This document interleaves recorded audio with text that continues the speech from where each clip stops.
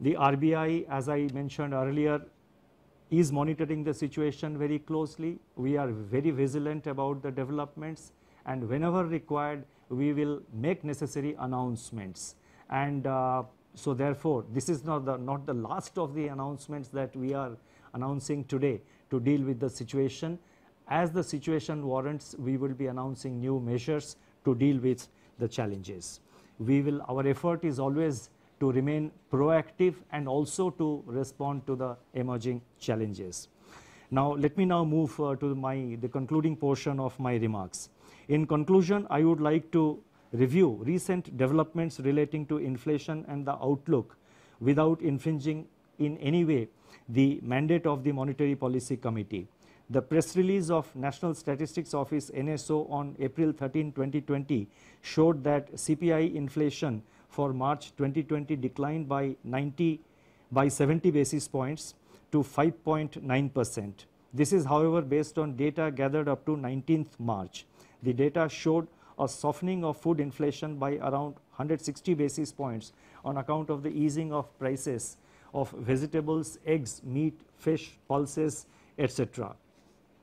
In other categories of CPI inflation, pressures remained firm.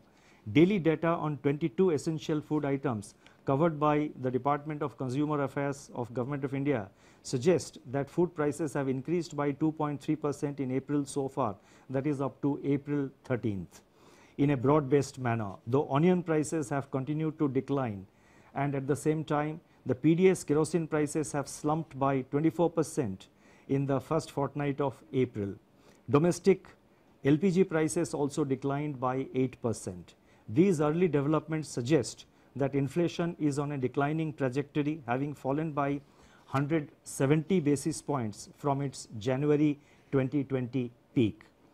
In the period ahead, inflation could recede even further, barring, barring of course any supply side disruption shocks and may even settle well below the target of 4 percent by the second half of 2021. Such an outlook would make policy space available to address the intensification of risks to growth and financial stability brought about by COVID-19 this space needs to be used effectively and in time.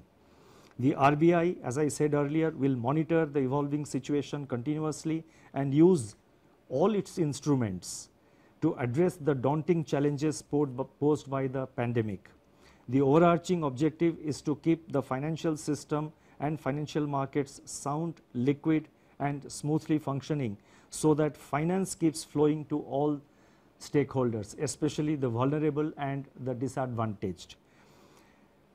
Regulatory measures that have been announced so far, including that are including those which are announced today, are dovetailed into the objective of preserving preserving financial stability. Although social distancing separates us, we stand united and resolute.